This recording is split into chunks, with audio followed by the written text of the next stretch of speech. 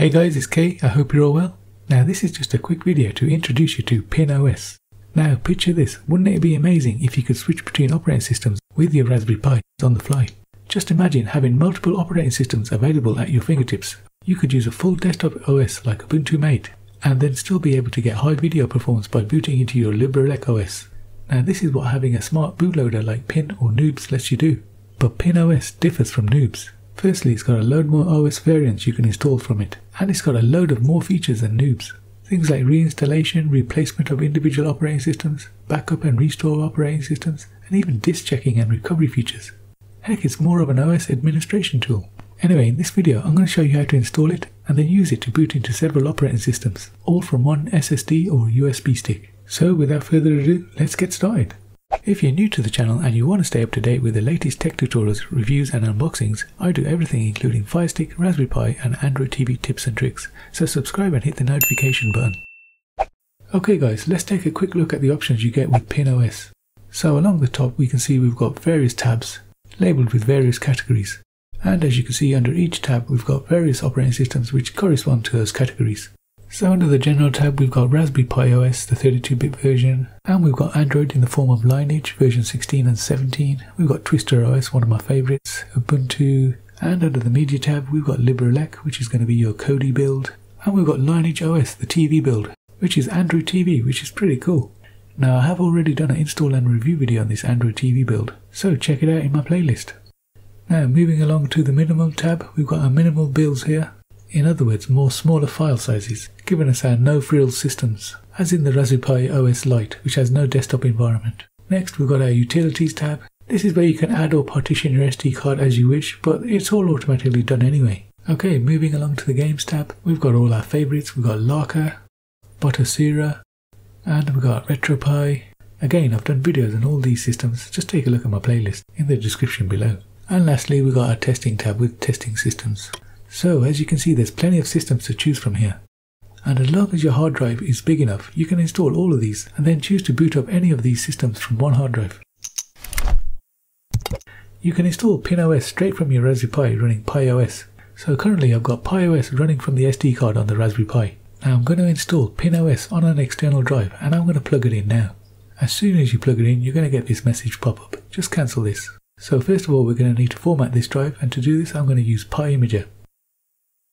Click on Choose, scroll down and select Erase, and then click on Choose SD card and select your hard disk or USB drive. And finally just click on Write and click Yes to confirm. And once it's done you'll get the following message. Click Continue and close the program. So the next thing we need to do is download PINN OS. So open up a web browser and type in pin download and press return. And select pin download sourceforge.net. And from here we just click on download the big green button and it should eventually start downloading the zip file and as you can see it started downloading and it shouldn't take too long as it's only 50 meg. Now once it's complete I'm just going to click on show in folder. Okay I'm going to close down some of these windows and make it a bit clearer. Now we're going to unzip this file here. Okay now we can delete the original zip file as we don't need it anymore.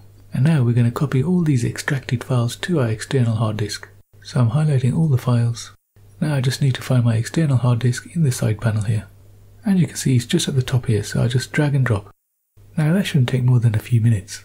Now once that's done we're going to shut down the Raspberry Pi and take out the SD card with the PiOS system on it but leave your hard disk plugged in with the PINN OS system on it so when it does next boot up it will boot up into PINN OS. Now on reboot you'll get the following screen, just be patient and you should come up with a final PINN OS splash screen. Now the first message you're going to get is network required but I can close this as I'm using a wired connection. Okay, this is the main window where you choose the operating systems you're going to put on your external hard drive. Now I think I'm going to choose my favorite operating systems which is Twister OS. Now on the bottom it lets you know how much space you've got left on your hard drive and this space will decrease as you add more operating systems. Okay, as you just saw I added LibreELEC which can run my media center and also I think I'm going to add RetroPie for my gaming needs.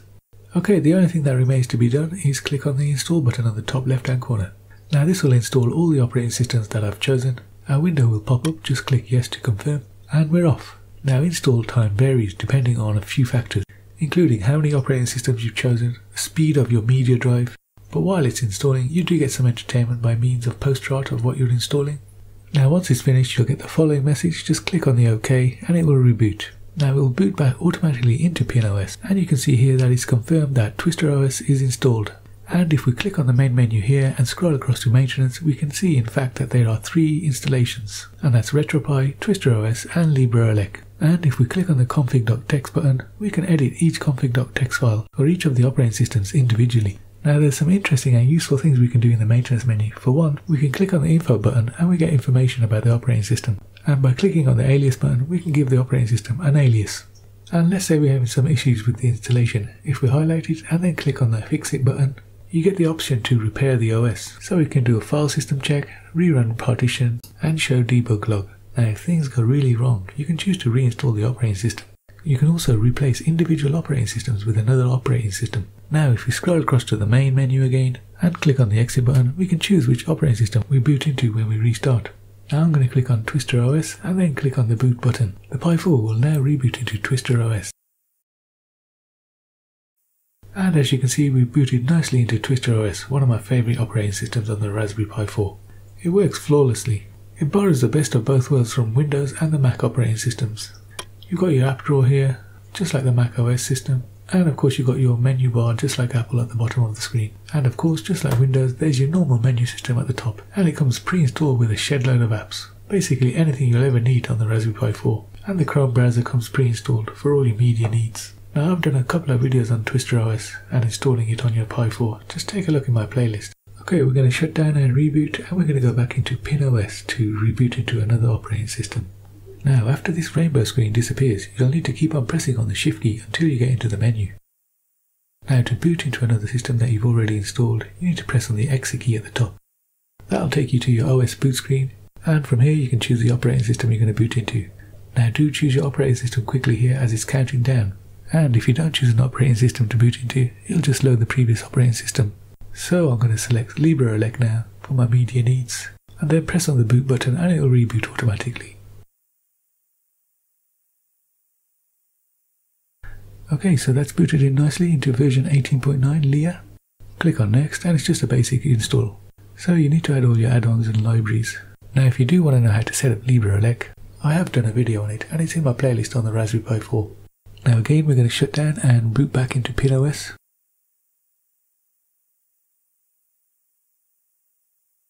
Okay guys, so we are back into PLOS and from here we can choose our operating system again or we can modify any of the settings on our operating systems. Anyway guys, I hope you found this video helpful and if you did, give us a like and maybe even a subscribe and I'll see you all in the next one.